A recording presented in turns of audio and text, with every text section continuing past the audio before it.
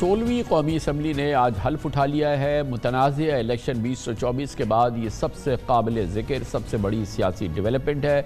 और इसके नतीजे में हमने देखा कि आज पहली बार पाकिस्तान की तमाम मंतखब सियासी क़्यादत, जो इस मुतनाज़ इलेक्शन में मंतखब हुई थी, एक छत तले बिलाकर हमें नज़र आई। और ये एक बहरहाल अपने तौर पर एक बहुत बड़ा गैर मामूली वाक़ था।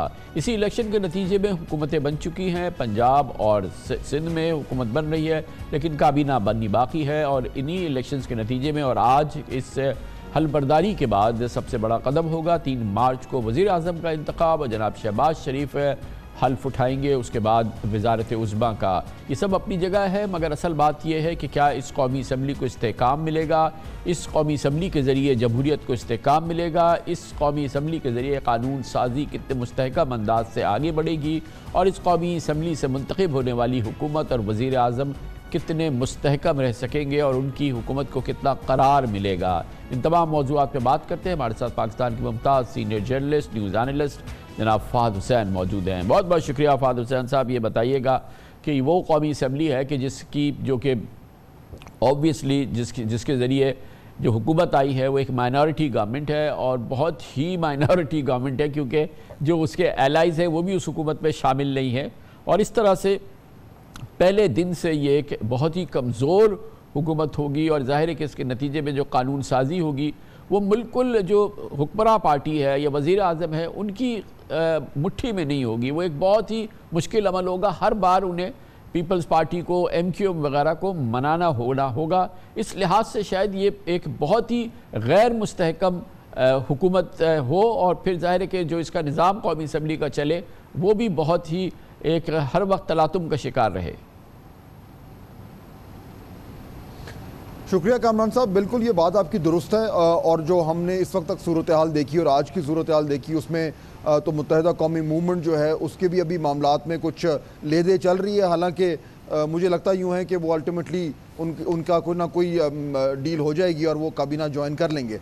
लेकिन उसके साथ साथ जहाँ पे जो बड़े फैसले इस गवर्नमेंट ने करने हैं, जिसकी बुनियाद पर वो ये ये नकादों को गलत जो है वो प्रूव कर सके कि नहीं, ये कमज़ोर गवर्नमेंट नहीं है, उसके लिए इनको बड़े फैसले करने पड़ेंगे। वो जो बड़े फैसले हैं, वो मुश्किल फैसले हैं। मुश्किल फैसलों का मतलब है कि उन्हें खुद भी कड़वा, कड़वी गोली खानी पड़ेगी और आवाम को भी कड़वी गोली खिलानी पड़ेगी। जिसका एक पोलिटिकल जो है वो फॉल आउट भी होगा एक ब्लो बैक भी होगा।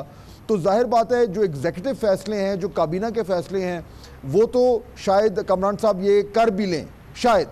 लेकिन ऐसे फैसले ऐसी असलाहत जहाँ पे एक्चुअल कानून साजी की ज़रूरत है वहाँ पे ये आपका आपका जो जो जो मुशाहिदा है मैं से मुतफिक हूँ कि वहाँ पे आ, इनको अपने तहादियों से आ, जो है कोई ना कोई कीमत अदा करनी पड़ेगी। और हर बारी जब भी कुछ तरह की लेजिस्लेशन होगी कभी भी ऐसा को बिल आएगा जो पहले कमेटियों में जाएगा, कमेटियों के बाद फिर वो पार्लियामेंट में आएगा, हर स्टेज पर जो है वो गवर्नमेंट को अपने तहदियों को सेटिस्फाई करना पड़ेगा। इससे न सिर्फ़ ये कि टाइम ज़्यादा लगेगा, बल्कि पॉलिटिकल कैपिटल भी ज़्यादा ब्लीड होगा और और गवर्नमेंट की जो एबिलिटी है मनूवर करना अपने जो तमाम तर फैसलों के लिए एक पार्लियामेंट्री सिस्टम में, वो भी बड़ी ही स्ट्रांगली जो है वो टेस्ट होगा। इसलिए बिल्कुल पी एम एल एन के लिए बहुत मुश्किल सूरत हाल है, सियासी तौर पर, इकतसादी तौर पर और गवर्नेंस के हवाले से। तो इसका मतलब ये है कि हम जब कानून साजी का मरला आएगा और इंपॉर्टेंट कानून साजी का मरला होगा तो वही मंज़र हम देख सकेंगे जो हम पहले नहीं देख सकते थे, जब मुख्तर हल्के कानून साजी में कलीदी किरदार अदा करते थे और ज़ाहिर है कि इस मखलूत हुकूमत के इन तमाम जो एलिमेंट्स हैं, इनको जोड़ना जो है, ये शहबाज शरीफ साहब के तनहा तो क़वत नहीं है कि इन सबको जोड़ सकें। ये तो फिर मुख्तर हल्के ही किया करेंगे, जैसे कि पहले होता है और इस तरह से पूरे शबाब पे हम हाइब्रिड निज़ाम देखेंगे, चाहे वो हमें बज़ाहिर नज़र ना आए। कमरान साहब, इसके दो बड़े अहम पहलू हैं। पहला तो ये है कि कोलिशन को इंटैक्ट रखना। जो पीडीएम की जो गवर्नमेंट थी 16 महीने की उसमें उस वक्त शबाज शरीफ साहब के लिए जो सबसे बड़ा चैलेंज था more than legislation even more than actual decision making वो ये था कि किस तरीके से उस कोलेशन को इंटैक्ट रखा जाए। सिर्फ़ उसको इंटैक्ट रखने के लिए जो पॉलिटिकल uh, कॉस्ट उस वक्त प्राइम मिनिस्टर को पे करनी पड़ी और उनकी गम उनकी पार्टी को पे करनी पड़ी वो लोगों से ढकी छुपी नहीं है। इसीलिए नवाज़ शरीफ साहब ने इस बार वज़ीर अजम बनने से इनकार किया क्योंकि उन्हें अच्छी तरह मालूम था कि कोलिशन गवर्नमेंट के के, के प्राइम मिनिस्टर की जो जो जो जो मजबूरियाँ होती हैं वो क्या होती हैं? तो यहाँ पे वो, वो इशू नहीं है। मेरा ख्याल है कोलिशन गवर्नमेंट को ख़तरा नहीं होगा लेकिन उसके साथ साथ जो उस गवर्नमेंट ने जो फैसला साजी करनी है और लेजिस्लेशन करनी है उसमें प्रॉब्लम होगा। अब क्या उसमें हमें वो नज़र आएगा जिसकी तरफ़ आप इशारा कर रहे हैं कि पीटीआई की गवर्नमेंट में बाकायदा तौर पर इस्टेब्लिशमेंट जो है वो लेजिस्लेशन में जो है वो धक्का लगा रही थी। मेरे ख्याल में शायद अभी फौरी तौर पर उसकी नौबत नहीं आएगी। लेकिन क्योंकि एस आई एफ़ सी अब इंस्टीट्यूशनलाइज हो गया है डिसीज़न मेकिंग में तो एन मुमकिन है कि पहले स्टेज में उसके ज़रिए ये धक्का लग जाए। फिर भी अगर ना हुआ तो फिर उसके बाद मेरे ख्याल में हाइब्रिड का एक को नया चैलेंज हमारे सामने आया क्योंकि एक बात तो सामने है ना, जो आपने बिल्कुल शुरू में बात की थी कि बहुत मुश्किल फैसले करने हैं। जिस दौर में ये हुकूमत मैदान में दाखिल हो रही है, इस मैदान में, एक तो इसकी बैक पे कोई बहुत बड़ा मैंडेट नहीं है, कोई स्ट्रॉन्ग मैंडेट नहीं है, एक बहुत ही कॉन्ट्रोवर्शियल इलेक्शन है। उसके नतीजे में भी जो इनकी नंबर्स हैं, वो बहुत वीक हैं। और फिर उसके बाद जिस जो जिस किस्म की मीशत के साथ ये दाखिल हो रहे हैं 22 परसेंट इंटरेस्ट रेट है 25 परसेंट इन्फ्लेशन है, इसमें आवाम की बेचैनी जो होगी वो अयाँ होगी। और फिर ये जब मुश्किल फ़ैसले यहाँ से निकला करेंगे तो फिर जो जो जो एलाइज़ है, वो तो उसके में इनके साथ कंधा नहीं जोड़ेंगे ना, वो इसीलिए तो अलहदा बैठे कि वो बोलेंगे, आप जाने आपका काम।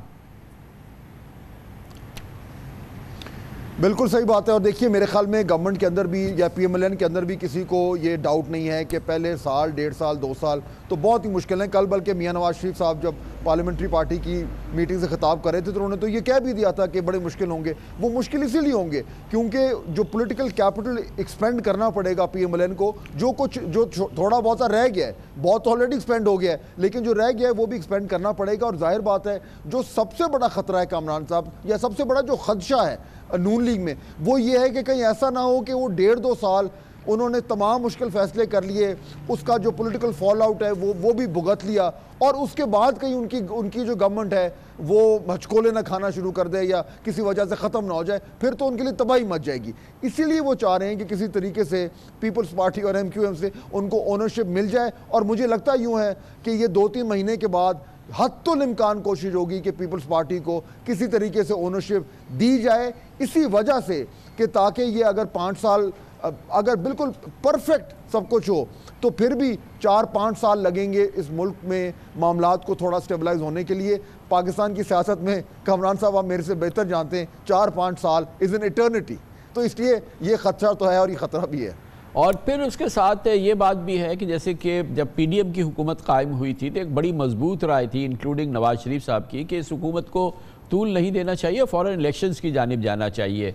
आ, फिर उस उस वक्त भी शहबाज शरीफ साहब और आसिफ जरदारी साहब की सोच प्रिवेल की पर उस वक्त की शायद इस्टेबलिशमेंट की भी सोच रही हो कि नहीं ये हुकूमत ही चलाई जाए और जिसकी बड़ी मैसिव कॉस्ट जो है वो नून लीग ने अपनी जो सपोर्ट है उसको इरोड होते हुए देखा, उसके असरात हमने अभी इलेक्शन में भी देखे।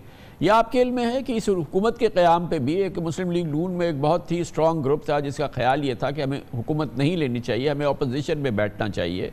और उसमें बहुत ही लीडिंग जो पॉलिटिशियन हैं नून लीग के, वो इस बात के हैं। अगेन उस, इस किस्म की सोच के ख़िलाफ़ शहबाज शरीफ साहब हर्फ उठा रहे हैं, वो प्राइम मिनिस्टर बनने जा रहे हैं। और ज़ाहिर है कि जो ये जो ब्लॉक है नून लीग का, जब गोइंग स्टफ़ तो वो बोलेंगे कि आप, आपको तो हमने पहले कहा था कि आपने इलेक्शन क्यों ली? क्योंकि सामने फिर जो सियासत है, वो जब जरदारी साहब की सियासत होगी, आखिर उन्होंने इसलिए तो नहीं ये पोजीशन ली है कि अगली अगली प्राइम मिनिस्टर मरीम नवाज़ बने, उनकी तो अगले प्राइम मिनिस्टर बिलावल हैं। और ये भी तो जहन में रखना होगा नून लीगी क़्यादत को। ये बिल्कुल आप सही बात कर रहे हैं जी, और इसलिए ये आर्गूमेंट बड़ा स्ट्रॉन्ग था कि पंजाब गवर्नमेंट नून लीग ले ले, लेकिन फेडरल गवर्नमेंट ना ले और फेडरल गवर्नमेंट में वो अपोजिशन में बैठे।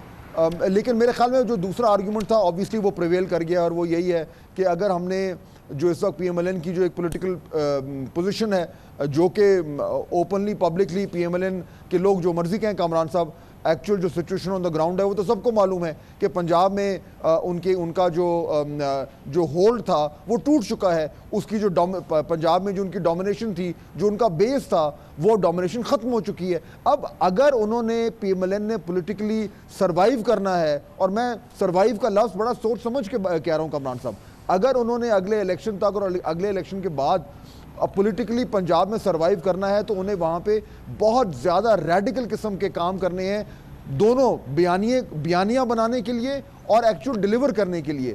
और इसलिए शायद ये आर्गूमेंट वहाँ पे प्रवेल किया है कि जी, ये काम करने के लिए हमें पंजाब में भी एक स्ट्रॉन्ग गवर्नमेंट चाहिए और हमें उस गवर्नमेंट को फेडरल गवर्नमेंट से भी फुल सपोर्ट चाहिए, ताकि हर हवाले से हम सरकारी इख्तियार को और सरकारी वसाइल को इस्तेमाल कर कर अपनी जो सियासत है, उसको एक बार फिर रिवाइव करें। लेट सी ऐसा होता है कि नहीं? बहुत बहुत शुक्रिया। जनाब फात हुसैन हमारे साथ मौजूद थे।